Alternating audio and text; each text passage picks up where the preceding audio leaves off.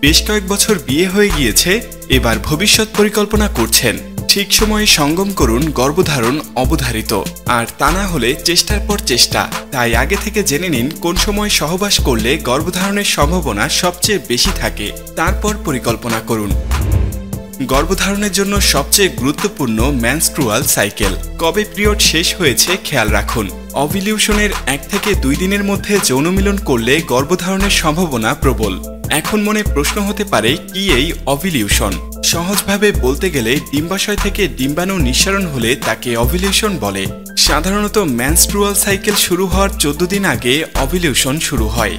এই সময় স্তনে অন্য ধরনের অনুভূতি হয়। অনেকের আবার মাঝে মধ্যে যন্ত্রণাও হয়। তবে অভিলিউশন সব থেকে ভালো বোঝা যায় যৌন আকাঙ্ক্ষা থেকে। এই সময় মহিলাদের যৌন আকাঙ্ক্ষা অনেক বেড়ে যায়।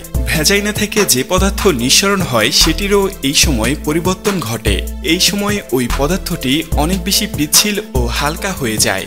গোটা বিষয়টি বোঝার জন্য আপনি ভেজাইনায় পরিষ্কার টিস্যু বা টয়লেট পেপার দিয়ে পরীক্ষা করে দেখতে পারেন। অভিলিউশনের সময় পিঠ ও পেটে ব্যথা হয়। পিরিয়ড বা মাসিক শুরু হওয়ার চোদ্দ দিন আগে থেকে এই ব্যথা অনুভূত হয়। পিঠের নিচে, কোমরের জায়গায় ও পেটের একদিকে সাধারণত যন্ত্রণা হয়। অভিলিউশন শুরুর দিন পাঁচেক আগে গর্ভধারণের সম্ভাবনা বেশি থাকে। এই সময় শারীরিক সম্পর্ক করলে বেশিরভাগ ক্ষেত্রে গর্ভধারণ প্রায় অবশ্যম্ভাবী কারণ এটাই নিষিকের একেবারেই অবাধ্য সময় বলে চিকিৎসকরা বলে থাকেন। তবে অভিলিউশনের প্রথম এক বা দুদিনের মধ্যে শারীরিক সম্পর্ক করলেও গর্ভধারণের সম্ভাবনা থাকে।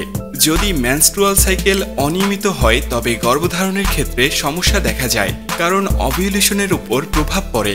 এই ক্ষেত্রে চিকিৎসকের পরামর্শ নিয়ে এগোনোই ভালো। কাজী আকাঙ্ক্ষার সঙ্গে একটু সময় মিলিয়ে শারীরিক সম্পর্ক করলেই সংসারে নতুন অতিথির আগমন নিশ্চিত। তো বুঝতেই পেরেছেন কোন সময় শারীরিক সম্পর্ক হলে গর্ভধারণ নিশ্চিত হয়। আমার মনে হয় কথা ঘুরিয়ে পেঁচিয়ে না বলে এত অল্প সময়ে এর থেকে ভালো করে বোঝানো সম্ভব না। ভিডিওটি ভালো লেগে থাকলে অবশ্যই একটি লাইক দিয়ে আপনার মতামত জানাতে ভুলবেন না। আমরা অবশ্যই চেষ্টা করব আপনার মতামতের রিপ্লে দিতে। ভালো থাকুন, সুস্থ থাকুন, আর সবশেষে থ্যাঙ্কস ফর ওয়াচিং